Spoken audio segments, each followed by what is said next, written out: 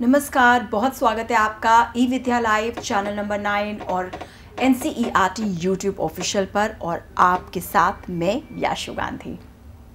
और आज का जो हमारा विषय है, जिस पे हम क्लास लेंगे, समझेंगे, कुछ बातें करेंगे, वो है मैथमेटिक्स और क्लास नाइन्थ का ये जो टॉपिक है, वो है हिरॉन्स फार्मूला और इसे आपको विस्तार से बताने और समझाने के लिए जो खास मेहमान, जो विषय विशेषज्ञ हमारे साथ जुड़े हैं, आइए आपका भी उनसे परिचय करवा देते हैं। हमारे साथ हैं senior PGT mathematics Campion school Bhopal से बीना मैम हमारे साथ जुड़ी हैं। Miss Bina Prakash, ma'am, good afternoon and very warm welcome to you in the session Good afternoon to you and to all my learners.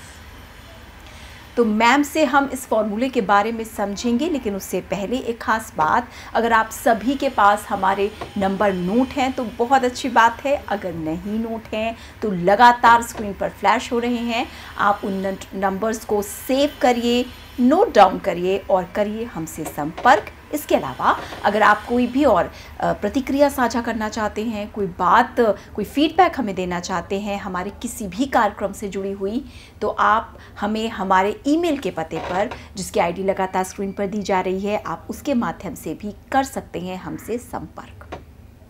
तो बढ़ते हैं आगे, जो कि क्लास नाइन्थ है और सब्जेक्ट है मैथमेटिक्स तो पेपर और पेन तो हाथ में बनता ही है फॉर्मूला समझने के लिए। Ma'am over to you thank you now this is the next chapter 10 from the NCERT text book the chapter's name वो नाम है चैप्टर का नाम ही हेरोस फार्मूला दैट मींस ये chapter is completely based on a formula which means इसका मतलब ये है कि सिर्फ़ हमें कंप्यूटेशन में फोकस करना है। Computation means lots of calculation lots of calculation आप जो कैलकुलेशन नंबर्स के साथ करते आए छोटे क्लास से मल्टीप्लिकेशन डिवीज़न ये सब अपने को स्क्वायर रूट क्यूब रूट ये सारी चीज़ें अभी अपने को प्रैक्टिस में करना है, ताकि we can do things faster ठीक है? To start Formula actually based on what? It is to find the area of a triangular region. कब अपने को ट्राइंगल का तो एरिया मालूम है बच्चों रिमेंबर दिस फॉर्मूला एरिया पर नी triangle is half base multiplied by altitude अब ये base multiplied by altitude means what is that we have you have any triangle कोई भी एक triangle है अपने पास इसमें you have to identify base and then इसका altitude that means if you take this as the base BC is the base then altitude means the distance of opposite vertex from that side तो उसके लिए हम क्या करेंगे will drop a perpendicular will drop a perpendicular so this length is known as altitude तो हमें इस formula के लिए what is required we require one side that can be taken as a base और उसके साथ उसका ऑल्टीट्यूड ऑल्टीट्यूड मींस उसके ऑपोजिट वर्टेक्स कितना? How far is from that side तो ये लेंथ होना चाहिए. This is represented as H और इसको हम बेस ले लेते हैं. नाउ इन केस जहाँ ट्रायंगल का बेस के अलावा दोनों साइड दिया गया हाइट नहीं दिया this also known as height height भी बोल सकते हैं. हाइट नहीं दिया है. इंस्टेड इसकी जगह आपको तीनों साइड्स का मेजर दिया है. तीन साइड्स का मेजर दिया है. Then we make use of this formula that is known as Heron's formula, ठीक है? And the formula is, बड़े अच्छे से सुनिए बच्चों this is the direct formula इसमें कोई चेंज नहीं रहेगा, आप, आपको यही फॉर्मूला अप्लाई करना है it is under the root cursor दिख रहा है आपको S S minus A that is चार फैक्टर्स है under the root one factor is S S minus A S minus B and S minus अभी क्या चीज़ है? S minus A S minus B A B C are the side of the triangle ठीक है? अब S क्या है? S is A plus B plus C upon two that is semi perimeter इसको बोलते हैं सेमी पेरीमीटर हाँ A plus B plus C मतलब sum of the side of the triangle उसका आधा that is known as A plus B semi perimeter fine this is actually a mathematical form इसको computation में use करते हैं as I said utter why is it named so because it is actually named after this is a history hero of Alexandria, a Greek engineer and mathematician who lived around 10 to 70 AD. कितनी पुरानी बात है. This aims, this formula is actually meant only for that is we have to find the area of the triangles कब when height और triangle नहीं दिया होगा only sides are mentioned ठीक है बहुत सारे situations में हमें मिलता है ऐसे situations where we get the sides of the triangle like अब देखिए ये question Let me discuss this question अब इस क्वेश्चन में क्या लिखा है? The sides of a triangle are in the sides of a triangular field is given as 41 metre 40 metre and 9 metre that is तीनों साइड्स दिया है। Find the number of rose beds that can be prepared in the field if each rose bed on an average requires this much space, ठीक है? इतना space एक rose bed के लिए चाहिए। तो ये एक फ़ील्ड है ट्रायंगुलर फ़ील्ड है, जिसका साइड है 41 मीटर 40 मीटर एंड 9 मीटर ठीक है? तो अब अपने को निकालना है कि इस फ़ील्ड में, इस ट्रायंगुलर फ़ील्ड में कितने हम रोज बेड्स बना सकते हैं। So the first thing whenever you get any question based on figures और फिगर्स का डायमेंशन दिया मेंशन किया हुआ है मेजरमेंट्स दिया हुआ है। सबसे पहले बच्चों ये ध्यान रखना कि मेज़रमेंट का यूनिट क्या है। जैसे यहाँ तीनों मेजर्स दिए हैं इन टर्म्स ऑफ़ मीटर्स और एक और question part of the question है, जिस, which says that average, it needs 900 square centimeter that means दो क्वांटिटीज दिया है, दो नंबर्स दिया दो डायमेंशंस दिए हैं, उसमें अपने को एक जो है, उसका यूनिट है मीटर दूसरे का मीटर यूनिट है सेंटीमीटर तो सबसे पहले अपने को ये देखना है कि how to convert these units तो बच्चों, ये I think you all can recollect आपको रिकलेक्ट करना है, आपके पास ये इंफॉर्मेशन है one metre is equal to hundred centimetre अब ये कहाँ यूज़ होता है? देखते हैं। सबसे पहले हमें क्या निकालना है? सबसे पहले तो ये निकालना है कि टोटल एरिया कितना है। एरिया किसका? एरिया ऑफ़ द ट्राइंगल तो वो ट्रायंगल का एरिया के लिए that's the area of the triangle that we have ठीक है? Now how will you get it what we require first we require the perimeter of this triangle sorry area of the triangle तो सबसे पहले हमें इसका semi perimeter तो semi perimeter निकालिए देखिए 41 प्लस 40 प्लस 9 अपॉन 2 इसका total sum comes out to be 9 45 ठीक है? The value of the semi perimeter is 45 now we find the area of the, using the formula s s minus a s minus b. तो एक side है इसका 9 एक side है 40 and third side is 41 fine अब इसको इस फॉर्मूले में यूज़ कर देते हैं तो इस फॉर्मूले में you have to compute that is what I said हमें ये कंप्यूटेशन वाला चैप्टर है, जहाँ हमें बहुत सारे कैलकुलेशंस करने हैं। तो अगर आपने कैलकुलेशंस में गलती करोगे डेफिनेटली आपके मार्क्स कटेंगे। तो आपको बहुत केयरफुली हैंडल करना क्योंकि डायरेक्ट फॉर्मूला है। डायरेक्ट फॉर्मूला में हमें हमेशा क्या है? थोड़ा सा हम इजी गोइंग हो जाता तो अपना कैलकुलेशन थोड़ा सा गड़बड़, इसलिए अपने ध्यान से करना है। So, let me take up this. It is 45, 45 minus 9, 45 minus 40, 45 minus 45. Now 45 minus 9 का वैल्यू है 36. 45 minus 40 का वैल्यू है 5. 45 minus 1, 41 is 4. अब ये स्क्वायर रूट है बच्चों याद करके देखो when you have anything under the root what is that you look कि एक ही जैसा नंबर ट्वाइस है कि नहीं अब उसमें देखने के लिए सबसे पहले देखिए मैंने फैक्टराइज किया 45 is factored as 9 and 5 then 36 का फैक्टराइजेशन 6 एंड 6 देन 5 4 ऑलरेडी है. तो आपको एक जैसा नंबर दो बार दिख रहा है क्या? जैसे ये 6 एंड 6 दो बार दिख रहा है so I have taken this it comes out it is 6 ठीक है? वैसे 5 एंड 5 दो बार है तो we take this out it returns 5 अब आप ध्यान से देखिए 9 is already a perfect square किसी का स्क्वायर है? किसका स्क्वायर है? 3 का. And 4 is also square of some number, that is 2. तो ये सब मल्टीप्लाई करके आंसर आता है 180 स्क्वायर मीटर्स तो हमारे पास जो फ़ील्ड है, उसका एरिया कितना है? 180 स्क्वायर मीटर्स है। और हमको क्या निकालना है कि हम कितने रोज बेड्स निकालना है? इस एप्लीकेशन इसके आगे दिया है, एक पार्ट दिया है। That is not just area उसके आगे हमें एक इंफॉर्मेशन है कि उसमें अगर एक रोज बेड बनाया जिसका एरिया ना 900 स्क्वायर सेंटीमीटर तो वैसे कितने बेड्स बना सकते हैं? उस ट्रायंगल के अंदर रीजन के अंदर कितने बना सकते हैं? तो that is total area upon the area of each beds अब टोटल एरिया क्या निकला अपना? 180 स्क्वायर मीटर अब देखिए this is what I said 180 square metre मतलब एक सेंटी एक metre sorry one metre is one metre is hundred centimetre तो अपने पास कितना? स्क्वायर मीटर स्क्वायर का मतलब क्या है? दो क्वांटिटीज है अपने पास. तो dimension that is it is twice we have to take up so वो है यहाँ पे लिखा। मैंने इसको कन्वर्ट किसमें कर दिया है? इसको न्यूमरेटर को मैंने कन्वर्ट कर दिया square centimetre denominator is already in square centimetre so this is very important thing कि जो भी कैलकुलेशन कर रहे हैं, उसके सारे के यूनिट्स सेम होना चाहिए। अलग अलग यूनिट्स में नहीं करेंगे कभी भी। तो एक को कन्वर्ट करना कौन सा इजी है कन्वर्ट करना? वो देखना। कौन सा इजी है? बड़े को छोटा करना इजी छोटे को बड़े करने में डिवाइड करना पड़ता है। डिविजन हमेशा अवॉइड करेंगे, ठीक है? अब इसके कैलकुलेशन में देखिए आप लोग। कैलकुलेशन बिल्कुल क्लियर है। इसमें वी हैव ये जीरोस कैंसिल हो जाते हैं हंड्रेड से।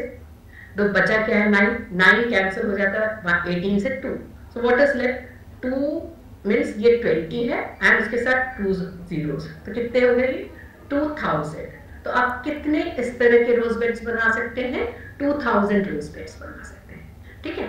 अब इस क्वेश्चन में एक चीज़ और ध्यान दें। जैसे मैंने कहा बच्चों कि ये कंप्यूटेशन बेस्ड क्वेश्चन है। कंप्यूटेशन बेस्ड क्वेश्चन में आप लोगों को एक चीज़ का ध्यान रखना है कि जो भी नंबर्स हमारे पास रहते हैं क्वेश्चंस में, वो रैंडम नंबर्स नहीं रहता है टेक्स्ट एनसीईआरटी टेक्स्ट बुक के कोई भी क्वेश्चन में रैंडम नंबर्स नहीं है।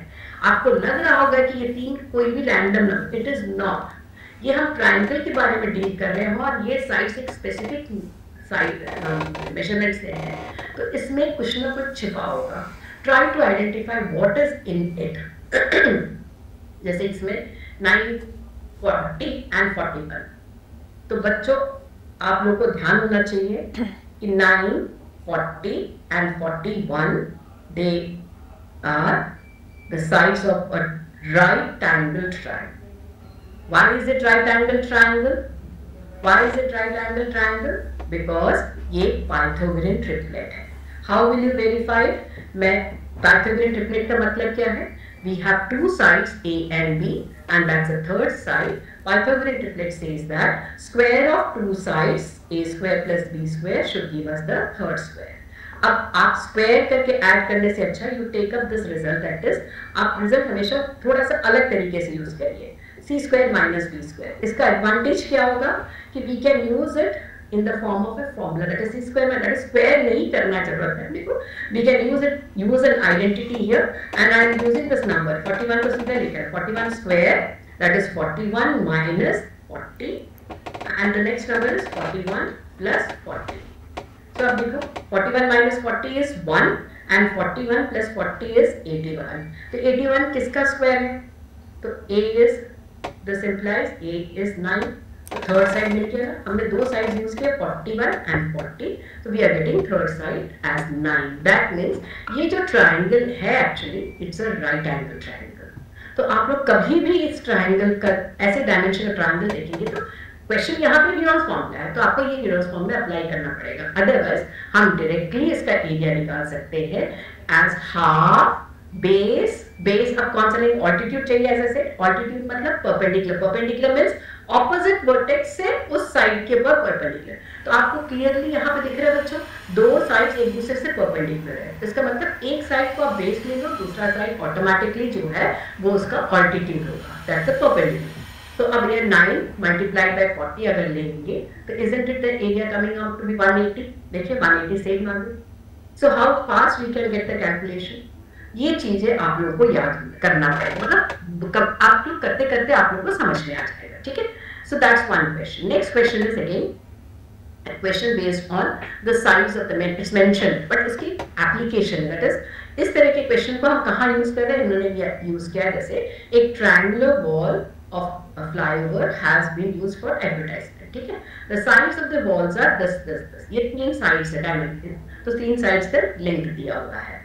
The advertisements yield an earning of rupees 5000 per square meter per year.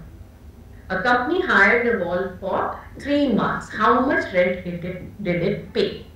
That means एक रीजन उन्होंने किया फ्लाईओवर के नीचे जो रीजन है दैट इज़ ट्राइंगल रीजन ठीक है ये एक टेक्स्ट का क्वेश्चन है नाउ ये क्वेश्चन में उन्होंने बोला है कि अगर इस रीजन को उन्होंने कुछ एडवर्टाइज ये रीजन को उन्होंने कुछ एडवर्टाइजमेंट के लिए यूज़ किया है, जिसका रेंटल रेट ये है, क्या है इसका रेंटल रेट 5000 पर स्क्वायर मीटर पर ईयर एक साल में आपको एक स्क्वायर मीटर का रेट देना है 5000 तो आपको कितना क्या क्या निकालना है?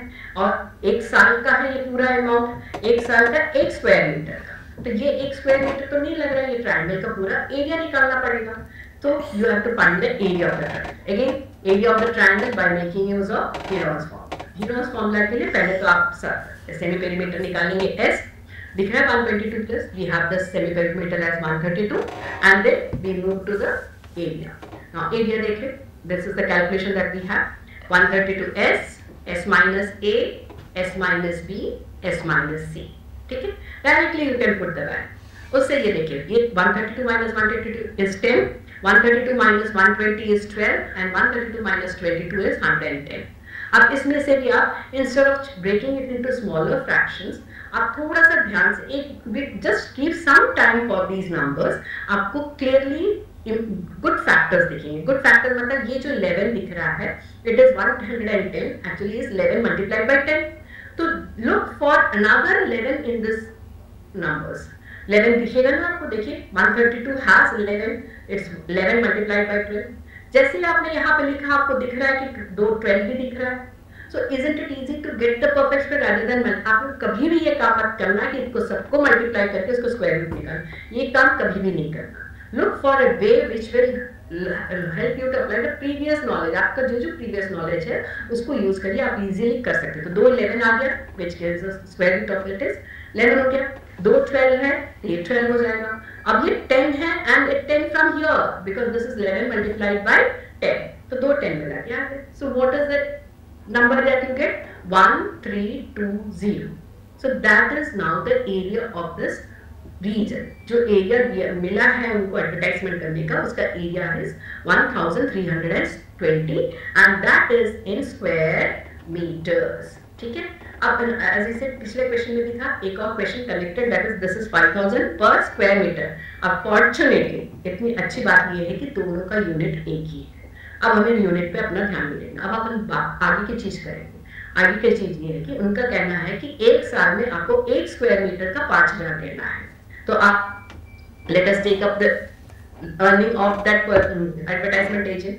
Earning of per year for one square meter is rupees 500 ठीक है? Earning for this is three months three months कैसे होगा year क्या है year has 12 months तो 12 months means divided by 12 हो जाएगा अपना earning for three months क्या हो जाएगा is for uh, क्या बोलते three months is multiplied by actually three months होना चाहिए था I'm sorry this is divide, divided by 12 this is divided by a year hai but this is divided by 12 this is not the calculation we have this is 5000 this is wrong it is 5000 एक साल का divided by 12 हो जाएगा and then for three months का is for three months it is three and then each a, एक area का है this is for this much area multiplied by 1320 so this will be 4 times it gets cancelled and 4 times ये भी cancel हो जाता है as 33 so the amount that will come out is 1655 and ये जो zeros add कर दीजिएगा this much is this quantity so this is how we go for अब देखिए कितने बड़े बड़े नंबर्स थे I have made a mistake इस तरह के मिस्टेक्स को आप लोग अवॉइड करेंगे, क्योंकि ये क्या है? कंप्यूटेशन मिस्टेक्स है। कभी कभी इसके मार्क्स बहुत हैवी होते हैं जो कट जाते हैं। तो ये आप लोगों को देखना है अपने को, ठीक है? Now this is the next question actually ये क्वेश्चन है कि area of the shaded region आपको area of the shaded region निकालना है। Area of the shaded region निकालना है। इस ट्रायंगल में इंफॉर्मेशन क्या है? एक साइड दिया है 120 दूसरा साइड दिया है 120 अब ये साइड BC नहीं दिया है।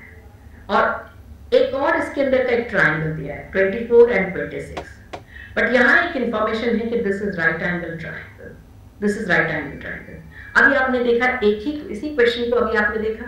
ऊपर यही नंबर से 122 देखिए आप 122 20 एंड 22 तो जस्ट जस्ट वेरीफाई यहाँ पे भी आप वेरीफाई करके देखिए are they giving us Pythagorean triplet तो आप बड़े तो भी कोई भी नंबर 122 माइनस 120 एंड 122 प्लस 120 इन दोनों का वैल्यूएशन क्या देखिए 122 minus 120 is 2 and 122 plus 122 uh, plus this will come out to be 242.